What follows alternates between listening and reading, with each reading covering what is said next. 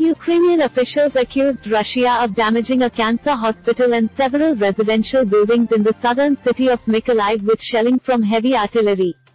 The hospital's head doctor, Maxim Besnezenko, said several hundred patients were in the hospital during the attack but that no one was killed.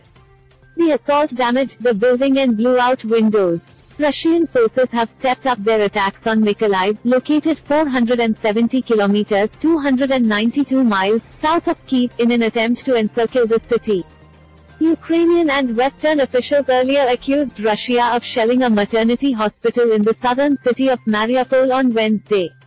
Three people died in that attack.